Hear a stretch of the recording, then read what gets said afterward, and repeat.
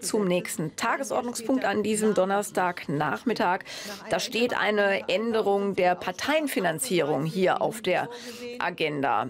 Der Hintergrund, zweimal sind die Bundesländer ja damit gescheitert, die NPD vom Bundesverfassungsgericht verbieten zu lassen.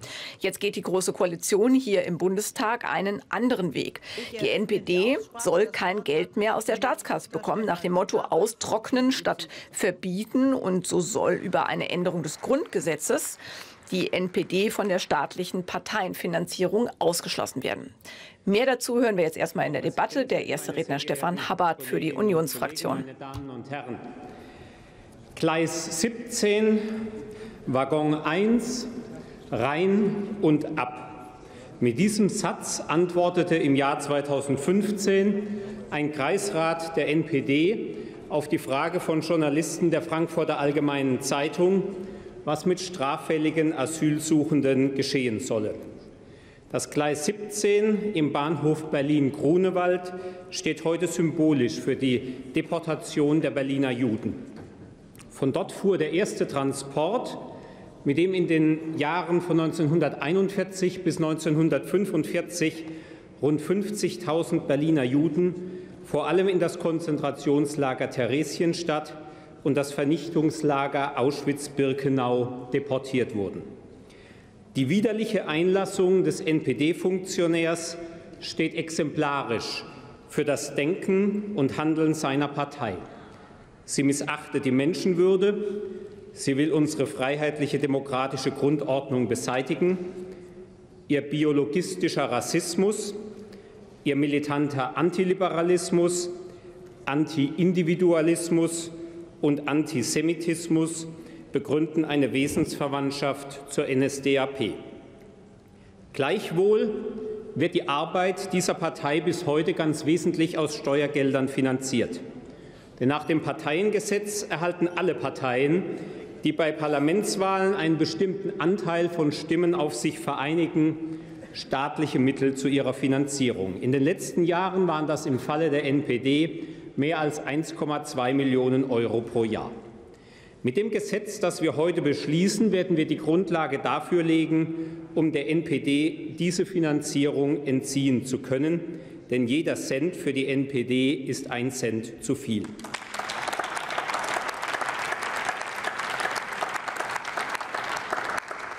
Lange Zeit ist sehr kontrovers diskutiert worden, ob ein solcher Ausschluss von der staatlichen Teilfinanzierung zulässig ist, weil er tief in die verfassungsrechtlich gesicherte Stellung der politischen Parteien eingreift und ihre Chancengleichheit beeinträchtigt. Diese Kontroverse hat das Bundesverfassungsgericht mit seinem Urteil vom 17. Januar 2017 entschieden, als es darauf aufmerksam machte, dass es dem verfassungsändernden Gesetzgeber sehr wohl freistehe, neben dem Parteiverbot weitere Sanktionsmöglichkeiten gegenüber Parteien mit verfassungsfeindlichen Zielen zu schaffen.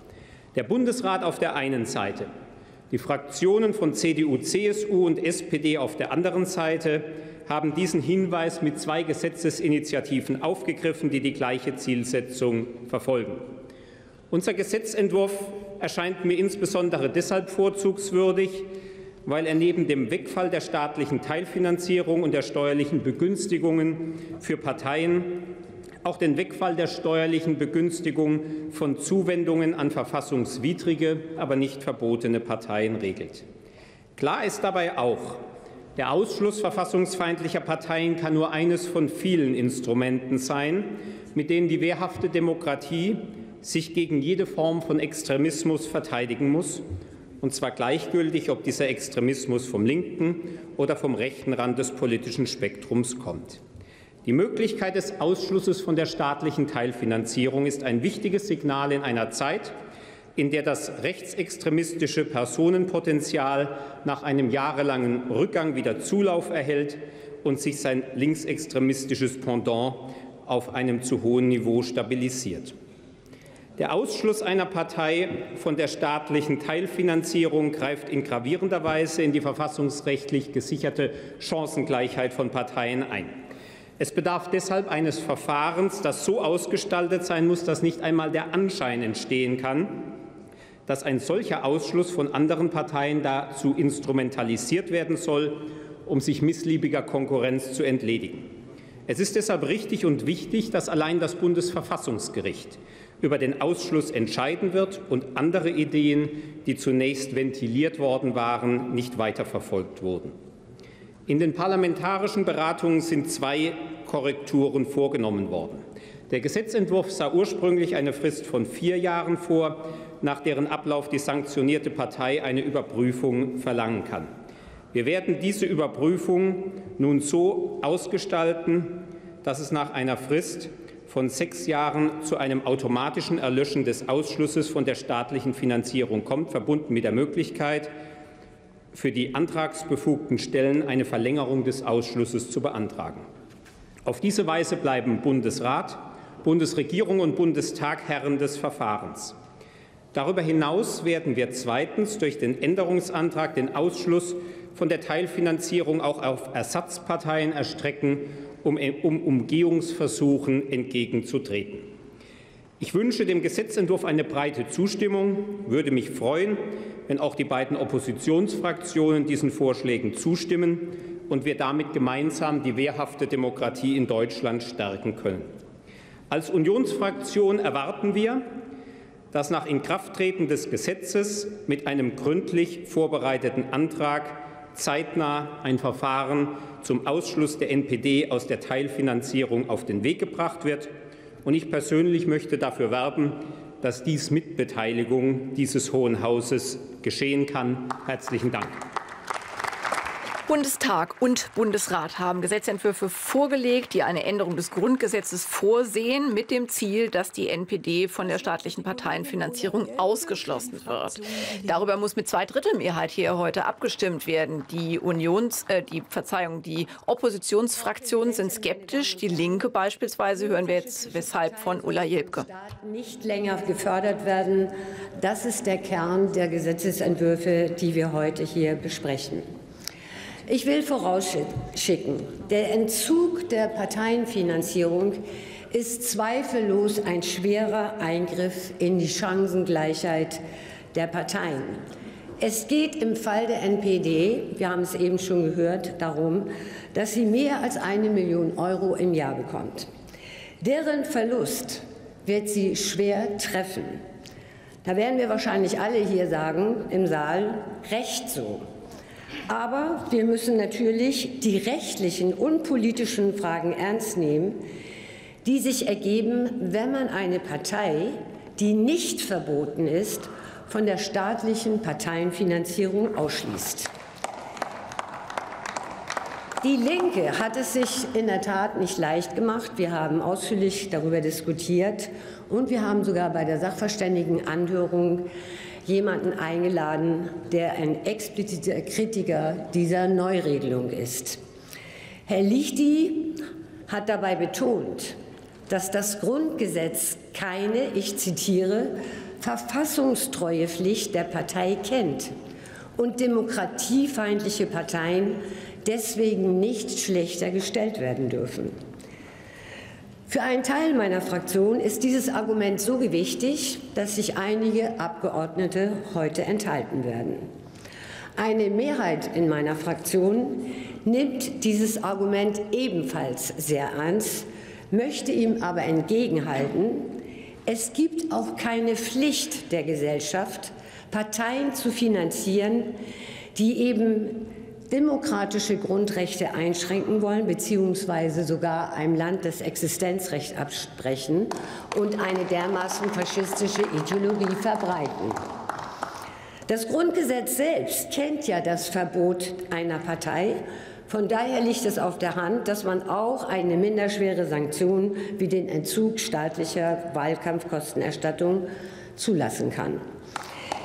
Immer vorausgesetzt, dass das Bundesverfassungsgericht diese Entscheidung trifft. Und so steht es ja auch in der Gesetzesvorlage. Für mich jedenfalls ist Faschismus keine Meinung im demokratischen Wettbewerb, sondern ein Verbrechen. Und Verbrechen dürfen sich nicht lohnen. Deswegen sagt meine Fraktion, in Einheit und in Mehrheit sollen Nazi-Parteien keinen Cent mehr vom Staat bekommen und niemand, der Nazi-Parteien Geld spendet, soll das von der Steuer absetzen dürfen. Und meine Damen und Herren, ich möchte kritisch anmerken, dass die jetzt vorgesehene Geltungsdauer eines Finanzierungsverbots von sechs Jahren schon sehr lang ist. Mein Kollege hat das eben erläutert. Das sind die Änderungen, die vorgenommen wurden. Ich denke, dass nach vier Jahren so ein Zeitpunkt gekommen ist und äh, von daher weil ja sowieso das Verfassungsgericht entscheiden soll, finden wir es auch nicht richtig, dass nicht einmal mehr eine mündliche Anhörung stattfinden soll. Und meine Damen und Herren, abschließend möchte ich noch einen Punkt in dem wir uns sehr einig sind in meiner Fraktion, hier deutlich sagen. Was wir heute beschließen, kann kein Ersatz sein für eine entschlossene Politik gegen Rechtsextremisten und neofaschistische Parteien. Wir, wir müssen allen entgegentreten, die Menschen nach zweierlei Maß und sie auf Grundlage von Religion, Herkunft oder anderer Äußerlichkeiten unterschiedlich behandeln wollen. Wir lehnen jede Form von Rassismus, jede Form von gruppenbezogener Menschlichkeit ab. Wir müssen auch jenen entgegentreten, die zum Beispiel die Flüchtlingsfrage immer wieder zum Anlass nehmen, dumpfe Wahlkampfparolen von sich zu geben. Und deswegen sage ich zum Schluss, unsere heutige Entscheidung muss Verpflichtung sein, endlich mehr in dieser Gesellschaft gegen Rassismus und gegen Antisemitismus und Muslimfeindlichkeit zu tun. Sonst werden wir weder Demokratie noch Frieden haben. Ich danke Ihnen. Ulla Jelpke war das für die Linke, deren innenpolitische Sprecherin. Ja, 2016 hat die NPD rund 1,1 Millionen Euro aus Steuergeldern erhalten. Das bemisst sich ja nach den Wahlergebnissen aus den letzten Europa-, Bundes- und Landtagswahlen, Parteispenden und den Beiträgen der Mitglieder, die dann entsprechend vergolten werden ähm, aus Steuergeldern. Gabriele Vograscher jetzt in der Debatte, in der Aussprache für die SPD-Fraktion. Und bei der Parteienfinanzierung ist eine mehr als groteske Situation entstanden. Wir finanzieren bis heute mit Steuermitteln eine Partei, die NPD, die vom Bundesverfassungsgericht als verfassungsfeindlich eingestuft wurde. In dem Urteil vom Januar diesen Jahres heißt es, ihre Ziele und das Verhalten ihrer Anhänger verstoßen gegen die Menschenwürde und den Kern des Demokratieprinzips. Das Material, das für das Verbotsverfahren zusammengestellt wurde, zeigt, diese Partei hat menschenverachtende und rassistische Ziele. Sie lehnt unsere Demokratie und unsere Werte ab. Sie wurde vom Verfassungsgericht mit folgender Begründung nicht verboten. Es fehlt jedoch an konkreten Anhaltspunkten von Gewicht, die es zumindest möglich erscheinen lassen, dass dieses Handeln zum Erfolg führt. Das Bundesverfassungsgericht hat uns als verfassungsändernder Gesetzgeber aber in der Urteilsbegründung den Hinweis gegeben, dass man verfassungsfeindliche Parteien von der staatlichen Teilfinanzierung ausschließen kann. Das werden wir heute tun.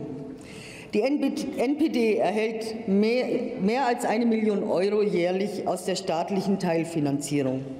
Mehr als eine Million Euro, um ihr menschenfeindliches Gedankengut und ihre antisemitische und rassistische Hetze zu verbreiten. Das ist unerträglich.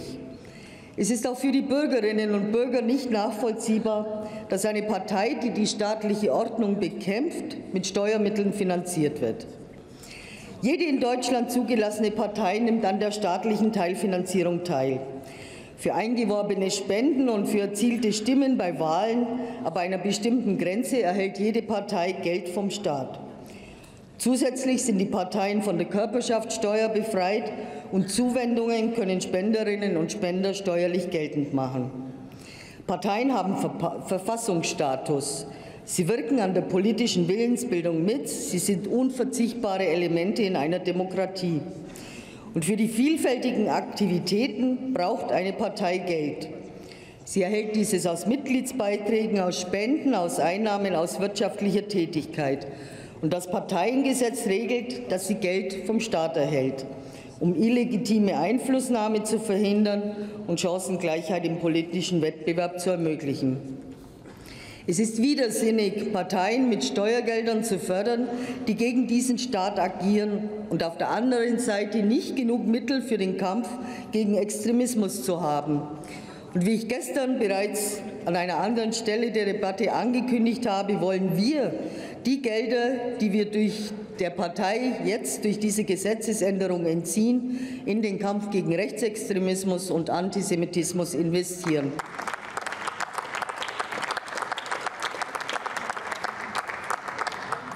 Über den Änderungsantrag hat Herr Habert schon gesprochen. Wir haben uns darauf geeinigt, dass das Bundesverfassungsgericht den Ausschluss einer Partei von der Finanzierung befristet für sechs Jahre feststellen soll. Dieser Ausschluss kann auf Antrag der ursprünglichen Antragsteller, also Bundestag, Bundesrat oder Bundesregierung, verlängert werden. Über den Verlängerungsantrag kann auch ohne mündliche Verhandlung entschieden werden.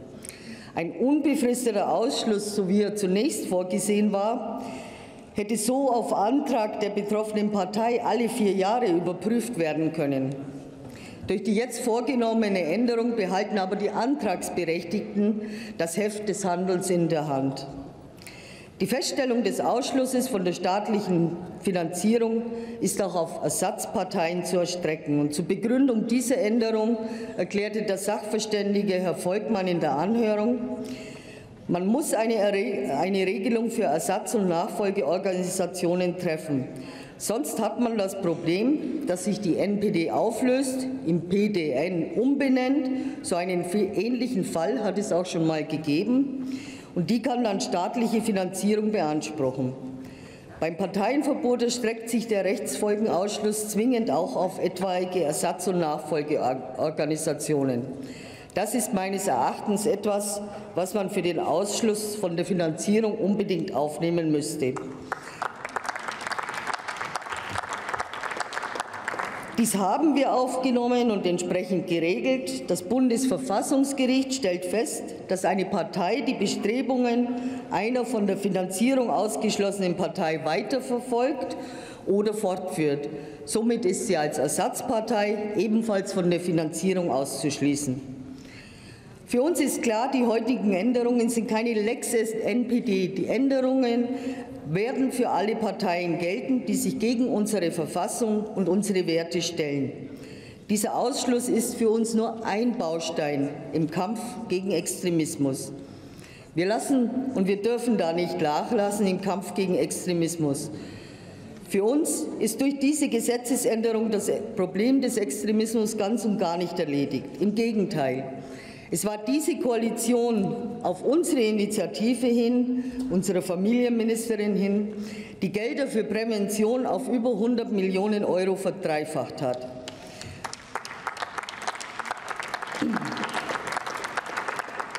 Wir werden die Forderungen des unabhängigen Expertenkreises Antisemitismus zügig umsetzen. Prävention, politische Bildung, Unterstützung von Projekten der Zivilgesellschaft, Extremismusforschung sind und bleiben dauerhafte Aufgaben für die Politik und die Gesellschaft. Ich bitte Sie um Zustimmung zu diesen Änderungen, damit die Unterstützung von Verfassungsfeinden mit Steuermitteln endlich ein Ende hat. Liebe Kolleginnen und Kollegen, dies ist meine letzte Rede in diesem Haus. Ich danke allen aus allen Fraktionen, mit denen ich in den letzten Jahren zusammenarbeiten durfte und allen, die mich in den letzten Jahren unterstützt haben. Und ich wünsche Ihnen allen für die Zukunft alles Gute. Herzlichen Dank.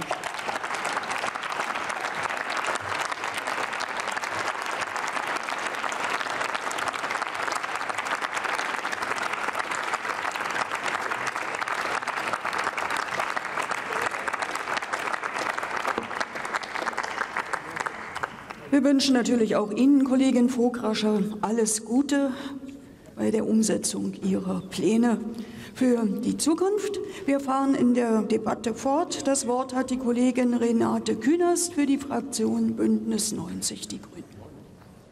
Renate Künast ist die Vorsitzende des Rechtsausschusses des Deutschen Bundestages. Frau Präsidentin, liebe Kolleginnen und Kollegen!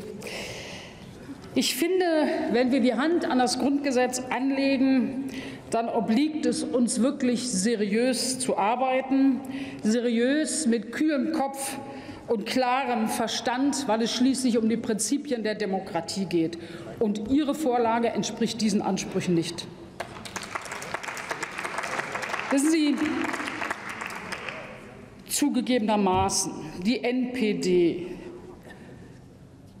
ist ein Feind der Verfassung. Sie ist auf der anderen Seite aber auch ein politischer Zwerg. Das wissen Sie. Und Sie gehen auf diesen politischen Zwerg isoliert als Teil von Rechtsextremismus, Rechtsradikalität und Rechtsterrorismus in dieser Gesellschaft, suchen Sie sich aus dem Gesamtpaket diesen Zwerg aus und wollen mal eben per Verfassungsänderung, ich sage mal eben per Verfassungsänderung, denen das Geld streichen und wollen damit suggerieren, das Problem sei gelöst. Es ist damit aber nicht gelöst. Ich habe eher den Eindruck, es geht um die Schmach der Innenminister, die zweimal groß begründet haben, aber am Ende das Verfassungsgericht Nein gesagt hat. Meine Damen und Herren, Sie suggerieren damit, dass das Problem aus der Welt geschafft wird, wenn diese eine Million Euro oder demnächst noch weniger nicht mal an die geht. Aber ich sage Ihnen, wir haben Pegida, wir haben die Nachlücke AfD, meine Damen und Herren das, das, können Sie uns auch nicht ernsthaft verkaufen, dass damit jetzt ein Problem gelöst wäre. Und dann noch in diesem Tempo, meine Damen und Herren. Ich finde, in so einer Situation braucht man wirklich kühlen Kopf Zeit, sonst kommen Fehlentscheidungen dabei raus. Ich will noch mal zitieren, was Herr Voskuhle gesagt hat in seinen einleitenden Worten. Es taucht ja später an ein, zwei Stellen noch mal im Urteil aus. Ob, er hat gesagt am 17. Januar, ob in einer solchen Situation andere Reaktionsmöglichkeiten sinnvoll sind, wie zum Beispiel, zum Beispiel der Entzug der staatlichen Finanzierung, hat der verfassungsändernde Gesetzgeber zu entscheiden. Meine Damen und Herren, Sie haben aber nicht gesagt, dass daraus ein Zwang ist. Sie haben uns kein Datum gesetzt für irgendwas, sondern Sie haben nur gesagt, dass Sie kein milderes Mittel als die Frage Verbot oder Nichtverbot haben und alles andere könnten nur wir, meine Damen und Herren. Das ist aber doch nicht, nicht Aufforderung, dann mal eben zum Ende der Legislaturperiode das Ganze zu schleifen. Wir haben auch in unserer Verfassung in Artikel 20 äh, Absatz 2 sozusagen als Grundlage unserer Demokratie die freie und gleiche Willensbildung des Volkes. Und dazu gehört der 21, der sagt, dass die Parteien, die Mehrzahl als Antwort auf das, was in diesem Hausmarkt stattfand, im Reichstag, in sozusagen unter Herrschaft der NSDAP, die Ausgrenzung, die Verhaftung, hat man gesagt,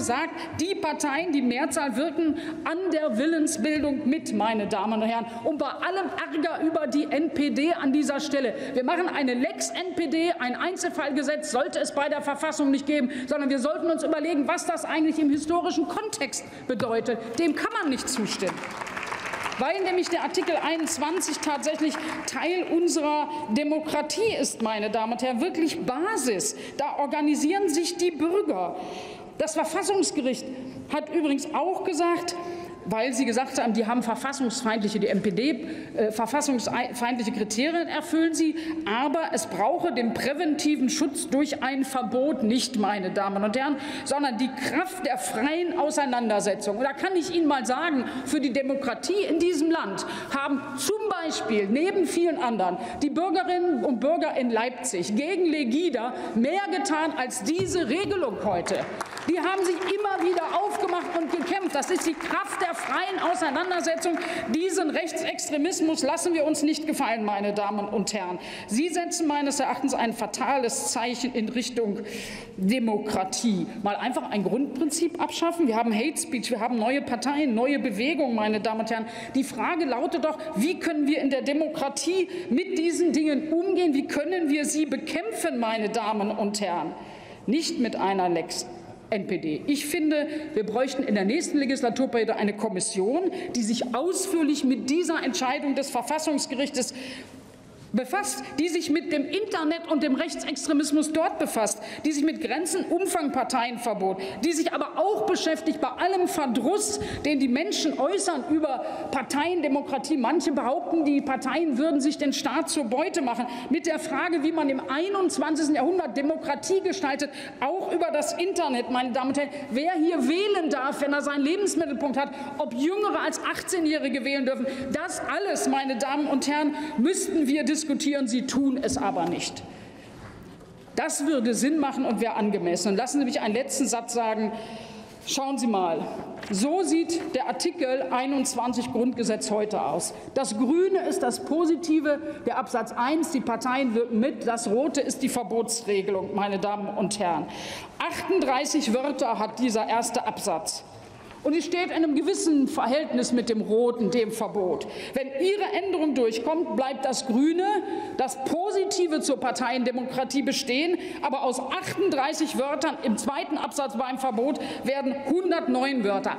38 Wörter für die Demokratie, 109 Wörter dagegen, meine Damen und Herren. So sieht es dann aus. Das hat eine Schieflage. Und ich kann es Ihnen auch sagen, im digitalen Zeitalter 275 Zeichen für die Demokratie, 855 Zeichen für Verbotsregeln. Meine Damen und Herren, ein aufrecht, mein letzter Satz, ein, ein aufrechter Gang von uns, ein breiter Kampf gegen Rechtsextremismus, eine gute Finanzierung. Machen Sie sich doch nichts vor. Die eine Million, die Sie meinen, der NPD entziehen zu können, das müsste aber auch das Bundesverfassungsgericht ja noch entscheiden. Mal sehen, ob Sie es tun würden, meine Damen und Herren.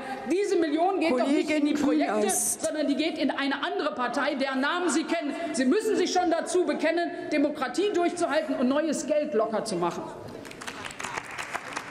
Renate Künast war das für die Fraktion Bündnis 90 Die Grünen. Ja, große Vorbehalte hat sie hier noch einmal formuliert und versucht noch mal anschaulich darzustellen, weswegen die Grünen große Zweifel haben, dass die Hand so ans Grundgesetz gelegt wird, an den Artikel 21. Helmut Brandt spricht jetzt für die CDU-CSU-Fraktion. Liebe Kolleginnen und Kollegen, ich hoffe, ich kann mit meinem Beitrag wieder etwas Sachlichkeit und Ruhe in diese Debatte bringen. Die hat es nämlich auch nötig.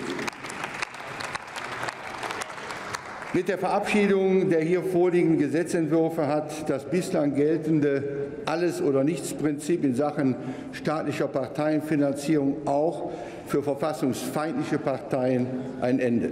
Und das ist gut so, Frau Kühners. Es ist ein Widerspruch, einer Partei, die unsere Demokratie abschaffen will, Steuermittel zu geben und sie damit noch in diesem Ziel zu unterstützen, während wir gleichzeitig Steuermittel für die Bekämpfung eben jenes radikalen Gedankenguts ausgeben.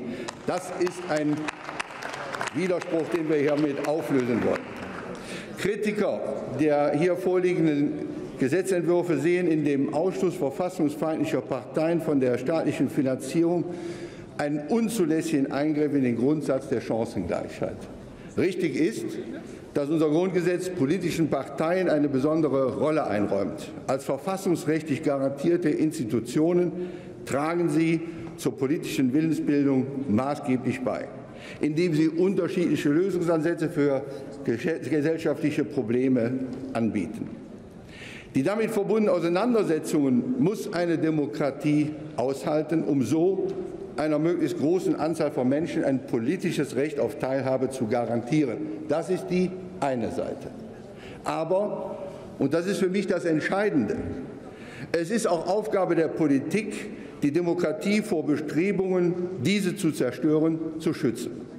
Das Parteiverbot wurde von den Müttern und Vätern des Grundgesetzes vor dem Hintergrund der Erfahrungen aus dem Dritten Reich als Instrument zur Bekämpfung verfassungsfeindlicher Parteien eingeführt. Zu Recht stellen Grundgesetz und Rechtsprechung hohe Anforderungen an ein Parteiverbot. Im Zuge der Weiterentwicklung der Rechtsprechung sowohl durch den Europäischen Gerichtshof für Menschenrechte wie auch durch das Bundesverfassungsgericht ist aber im Verlauf der letzten Jahre noch das Erfordernis einer konkreten Gefahr hinzugekommen. Damit sind die Anforderungen an ein Parteiverbot noch weiter gestiegen. Denn die Frage, welche Gefahr von einer verfassungsfeindlichen Partei tatsächlich ausgeht, ist nur schwer zu beantworten. Deshalb, meine Damen und Herren, müssen wir, muss die Politik zumindest unterhalb dieser Schwelle eines Parteiverbotes Sanktionsmöglichkeiten für extremistische Parteien haben. Nur so sind wir in der Lage, Instrumente der wehrhaften Demokratie auch zu erhalten. Dieses Spannungsfeld, das unbestreitbar besteht, haben wir nach meiner Meinung mit dem Gesetzentwurf gut gelöst. Wir haben Parteiprivilegien wie Versammlungsrecht oder Werbung eben nicht angetastet, sondern lediglich die staatliche Parteienfinanzierung. Und damit bleiben wir weit hinter den Auswirkungen eines Parteiverbotes zurück. Eben weil aber das Recht auf politische Teilhabe hoch ist und Parteien auch einem Wandel unterlegen, ist es halt nötig, den Ausschluss äh, zeitlich zu begrenzen. Da ist eben schon darüber vorgetragen worden. Wir haben dies in dem Änderungsantrag verändert und ich bin der Auffassung, mit den sechs Jahren, die auch von den Sachverständigen in der Anhörung vorgeschlagen wurden, und dem Antragsrecht der drei, nämlich Bundestag, Bundesrat und Bundestag, auf weitere Ausschluss der Finanzierung sind wir auch nach meiner festen Überzeugung einen fast, äh, verfassungsfesten Weg gegangen. Und äh, lassen Sie mich eins sagen. Ich denke doch, dass allen demokratischen Parteien ein Grundkonsens verbindet, dem das Wertesystem unseres Grundgesetzes und das Bekenntnis zu unserem demokratischen Rechtsstaat zugrunde liegen. Dies unterscheidet extremistische Parteien von demokratischen. Und genau dieser Unterschied rechtfertigt in meinen Augen auch, und das haben die Sachverständigen eindeutig bestätigt, die jetzt von uns vorgenommene Durchbrechung des Gleichheitsgebots und stellt einen hinreichenden Grund für eine Differenzierung in Sachen Parteienfinanzierung zwischen demokratischen und extremistischen Parteien dar. Lassen Sie mich abschließend noch eins klären. Keiner von uns, Frau Künast, ist so naiv zu glauben, dass sich extremistische Grundeinstellungen mit dem Entzug der Teilfinanzierung für verfassungsfeindliche Parteien erledigen würden. Längst schon stehen andere extremistische Gruppierungen wie Kameradschaften, wie Antifa-Gruppen bereit. Und gerade auf kommunaler Ebene ist die NPD in einigen Regionen stark verwurzelt. Politik und Gesellschaft stehen deshalb auch weiterhin in der Verantwortung. Die öffentliche Auseinandersetzung mit extremistischen Gruppierungen ist nicht nur ein wichtiges, sondern mit Sicherheit das wichtigste Mittel überhaupt im Rahmen der Bekämpfung. Dafür geben wir, Frau Vogel, Sie haben es eben erwähnt, sehr viel Geld aus. Allein vom Bundesfamilienministerium für die Initiative Demokratie leben in 2017 104,5 Millionen. Ein stolzer Betrag. Da kann man doch nicht sagen, Frau Kühners, wie Sie es heute in der FAZ getan haben, wir würden zu wenig gegen äh, Extremismus tun. Nein, wir haben in den letzten Jahren diese äh, Gelder verdreifacht. Ein Beweis, dass doch wir die Dinge richtig erkannt haben und auch bekämpfen. Und auch Ihr Vorwurf einer übereilten Verfassungsänderung muss ich entschieden zurückweisen. Die Grundgesetzänderung wurde gründlich vorbereitet und durch die Änderungsanträge im Anschluss an die Sachverständigenanhörung noch einmal optimiert. Ein wirklich gutes Zeichen der gemeinsamen Bekämpfung von Extremismus wäre es, wenn alle Fraktionen diesem Gesetz ihre Zustimmung geben würden. Darum werbe ich. Dankeschön sagt Helmut Brandt für die CDU-CSU-Fraktion. Und jetzt hören wir noch Matthias Schmidt für die Sozialdemokraten, während die Bundestagsvizepräsidentin Petra Pau darauf hinweist, dass es in dieser Aussprache noch zwei Redner gibt. Denn es ist etwas unruhig geworden, weil sehr viele Abgeordnete hier in den Plenarsaal hineinkommen.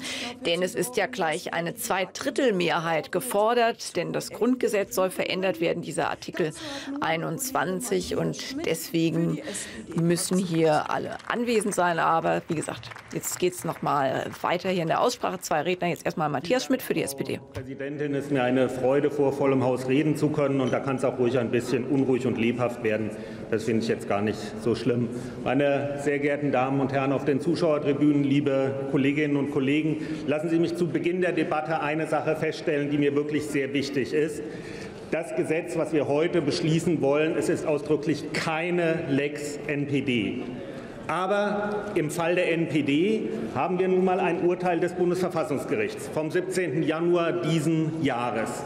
Und ich war sowohl bei, den, bei der mündlichen Verhandlung dabei als auch bei der Urteilsverkündung. Und ich hätte mir sehr ein anderes Urteil gewünscht, wie möglicherweise viele hier im Haus.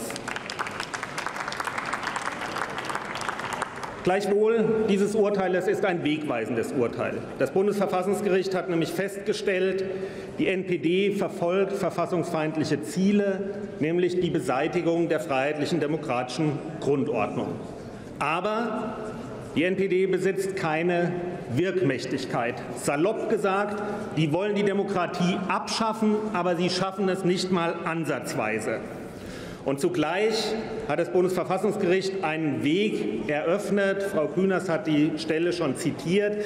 Es hat uns mit auf den Weg gegeben, wenn wir einer verfassungsfeindlichen Partei den Geldhahn abdrehen wollen, dann ist das Parteienverbotsverfahren nicht die einzige Möglichkeit dazu, sondern der Verfassungsgesetzgeber hat die Möglichkeit, hier eine Änderung herbeizuführen. Und genau dieses plant heute die Große Koalition durchzuführen. Und das ist gut überlegt. Es stärkt im Übrigen die wehrhafte Demokratie, die wehrhafte Demokratie, die an vielen Stellen in unserem Grundgesetz durchscheint, Artikel 9 Absatz 2, im 18, im 20 Absatz 4 und selbstverständlich auch im 21 Absatz 2. Und genau an dieser Stelle werden wir heute ein wenig nachschärfen. Und Frau Künast, ich habe mitgeschrieben, Sie haben gesagt, wir würden einfach mal ein Grundrecht abschaffen. Das ist kein Grundrecht, was wir da abschaffen. Das ist es nicht. Und die SPD-Fraktion hat sich das sehr gut überlegt, was sie hier macht. Denn zufällig heute jährt sich zum 84. Mal das Verbot der SPD durch die Nationalsozialisten. Am 22. Juni 1933 ist meine Partei verboten worden und wir gehen hier ganz sauber, sachlich, ruhig und kühl vor. Aber einer Partei, der das Bundesverfassungsgericht bescheinigt, die freiheitliche demokratische Grundordnung beseitigen zu wollen, die hat keine Unterstützung durch die Demokratie verdient.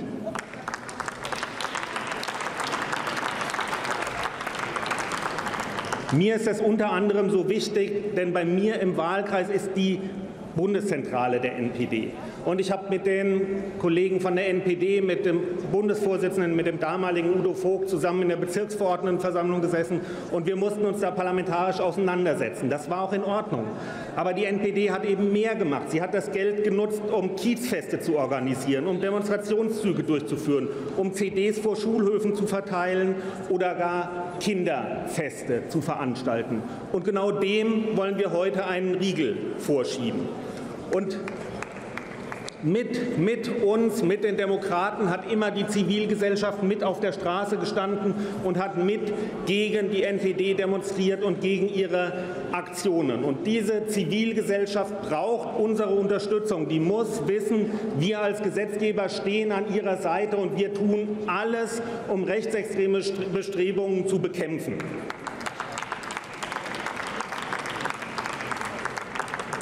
Und dieses wollen wir heute tun. Wir fügen dem Grundgesetz einen weiteren Mosaikstein hinzu für eine starke, streitbare Demokratie. Vielen herzlichen Dank.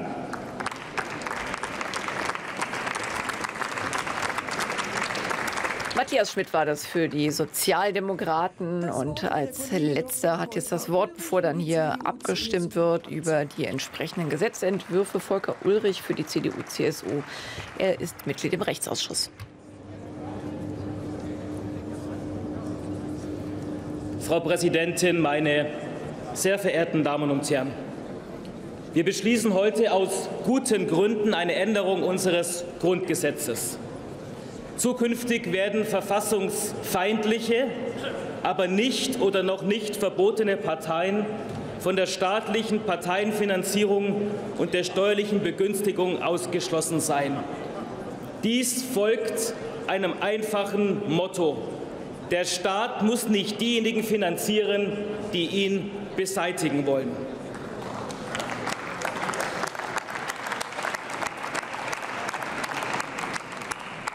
Das Ganze wird in Artikel 21 des Grundgesetzes verankert.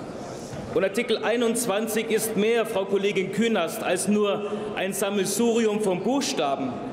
Es ist die zentrale Norm der politischen Teilhabe in unserem Land. Und unsere Demokratie hält auch extreme und radikale Parteien aus, mit denen wir uns im politischen Wettbewerb messen müssen. Aber unser Grundgesetz hat auch aus historischen Erfahrungen heraus und aus bitteren Stunden ein Schutzschild um sich selbst gezogen. Das Machbare wird nicht allein durch die Mehrheit bestimmt, sondern durch den Kern unserer Verfassung, durch Menschenwürde, Demokratie und Rechtsstaatlichkeit. Und wer Demokratie, Menschenwürde und Rechtsstaatlichkeit angeht und nicht zum Grundlage seines Handelns macht, der hat in unserer wehrhaften Demokratie keinen Platz und der darf auch nicht finanziert werden.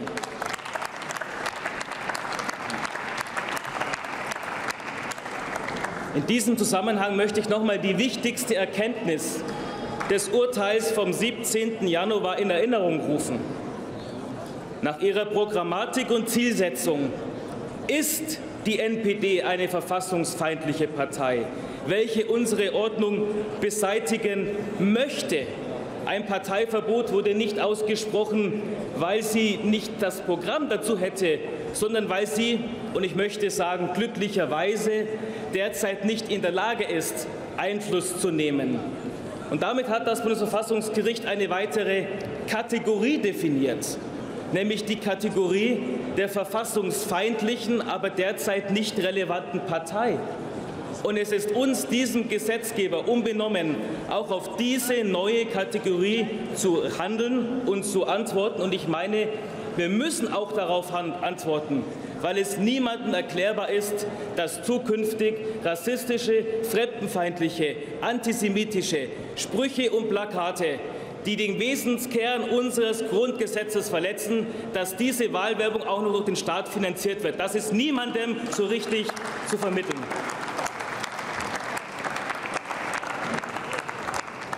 Und ja, es geht auch um die Chancengleichheit der Parteien. Und es ist ein wichtiger Verfassungsgrundsatz. Aber die Chancengleichheit findet dort ihre Grenzen, wo es Ansatzpunkte für eine verfassungsrechtlich zulässige Ungleichbehandlung gibt.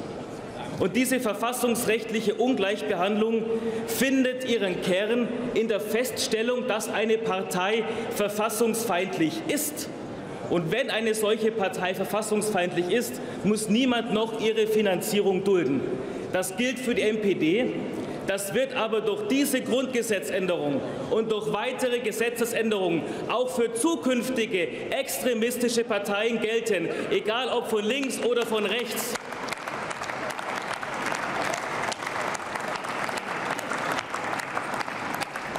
Meine Damen und Herren, wir haben in der letzten Sitzungswoche in diesem Hohen Hause viele notwendige und gute Grundgesetzänderungen beschlossen, die vielleicht in manchem Detail etwas technisch sind, die aber viele Milliarden bewegen und die sicherlich das Zusammenleben zwischen Bund und Ländern besser gestalten.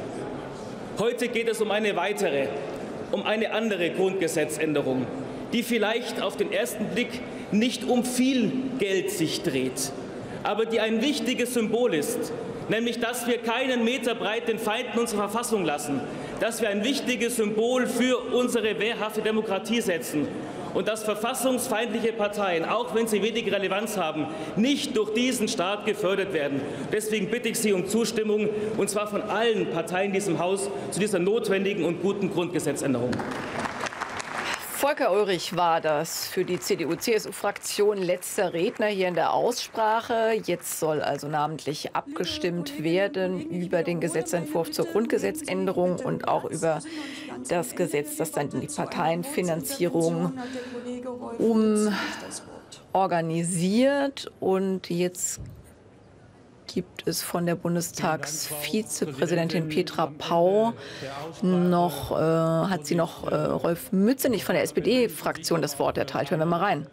Fraktion noch mal auf die grundsätzlichen Bemerkungen der Kollegin Künast eingehen, die in ihrer Rede einen Zusammenhang konstruiert hat zu diesem Gesetzentwurf, der jetzt zur namentlichen Abstimmung steht, den ich für meine Fraktion eindeutig zurückweisen will.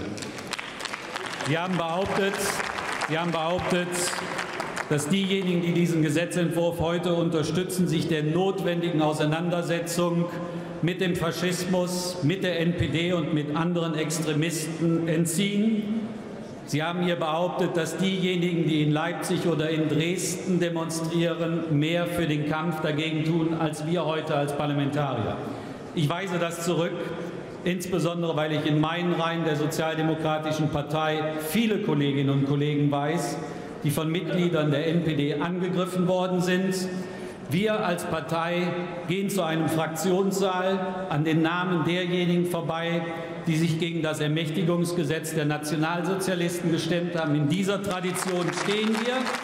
Und ich sage Ihnen sehr eindeutig, liebe Kolleginnen, wir lassen uns nicht absprechen, dass wir auch gegen die NPD unabhängig von diesem Gesetzentwurf weiterarbeiten werden. Vielen Dank. Rolf Mützenich für die SPD-Fraktion mit einer Kurzintervention. Er bekommt hier sehr viel Beifall, nicht nur aus den Reihen der SPD-Fraktion, sondern auch aus den Reihen der CDU-CSU-Fraktion.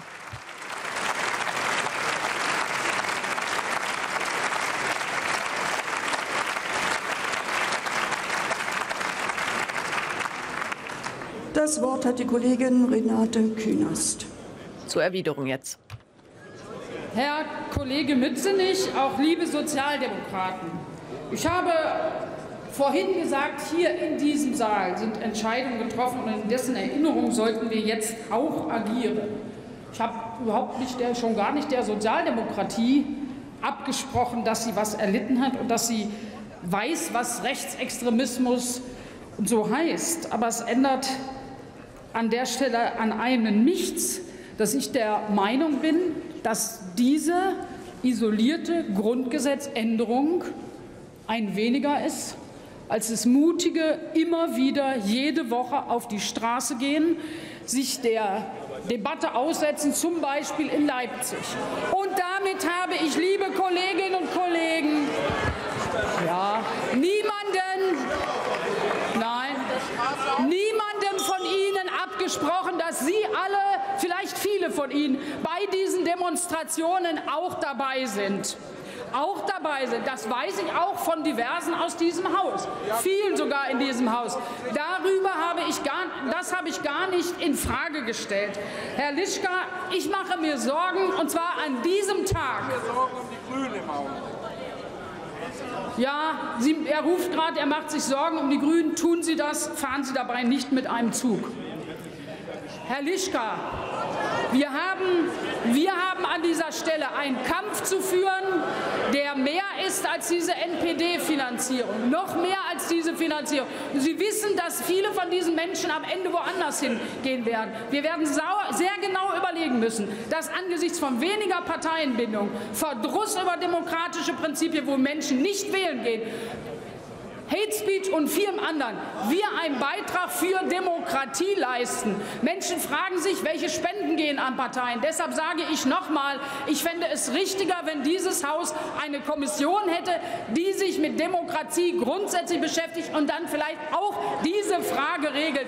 Ich halte das und würde es für einen echten Gewinn halten, meine Damen und Herren. Was ich nicht erleben will, ist, dass diese Regelung gegen uns gewandt wird. Es hat Politiker gegeben, die haben bei Hate Speech Menschen als Mob und Pack bezeichnet. Und am Ende standen die mit dem Schild da, wir sind das Pack und haben sich noch mehr zusammengeschlossen. Wenn wir für die ja, auch zum Beispiel mit dem Geigen. Ich habe auch viel Hate Speech bekommen, aber auch der Hass gegen die Ungerechtigkeit, hat Bernd Brecht gesagt, verzehrt die Züge. Wir müssen denen zeigen, dass wir zu Demokratie stehen, zu demokratischen Inhalten und demokratischen Verfahren. Die Aufgabe ist größer als dieser eine Satz des Bundesverfassungsgerichts.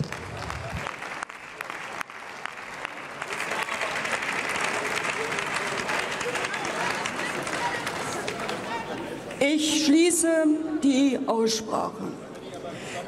So, jetzt ist die Aussprache definitiv geschlossen von der Bundestagsvizepräsidentin Petra Pau. Jetzt geht es also an die Abstimmung über den Gesetzentwurf zur Änderung des Grundgesetzes, wie schon mehrfach erwähnt, mit nötiger Zweidrittelmehrheit.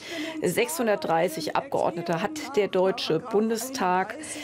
Die Zweidrittelmehrheit liegt bei 420 Stimmen. Die Große Koalition hat allein 502 Abgeordnete, wird also hier mit ihrer übergroßen Mehrheit Mehrheit dieses Gesetz beschließen können. Und diese Grundgesetzänderung, dafür braucht sie die Stimmen der Oppositionsfraktionen nicht. Grüne und Linke hatten ja Enthaltungen bzw.